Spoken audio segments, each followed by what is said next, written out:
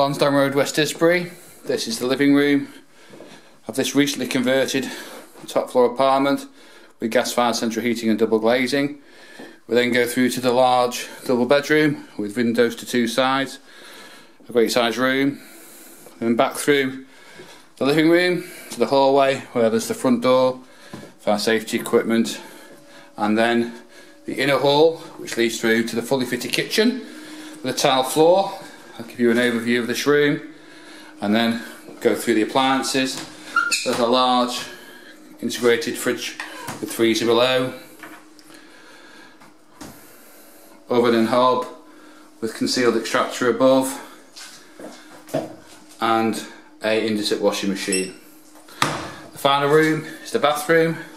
Again, this is a tile floor and a good, is a good size and there's a shower over the bath. To view this property, please contact Lewis Phipps on 0161 448 2121.